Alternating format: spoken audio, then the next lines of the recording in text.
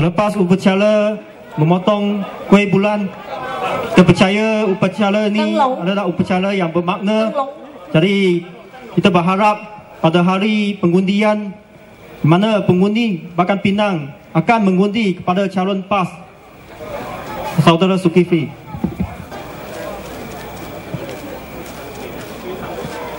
demi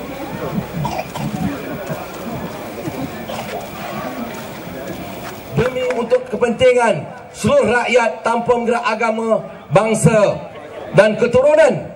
Kerana kita tahu generasi ini akan selamat sekiranya pemimpin yang ada hari ini memikirkan seluruh rakyat tanpa mengira batasan daripada mana-mana pihak ataupun kaum. Jadi tuan-tuan yang hormati sekalian, kita hanya tinggal lagi lebih kurang 6 atau 7 hari. Dan saya hadir di sini bersama dengan rakan-rakan kepimpinan Pakatan Rakyat.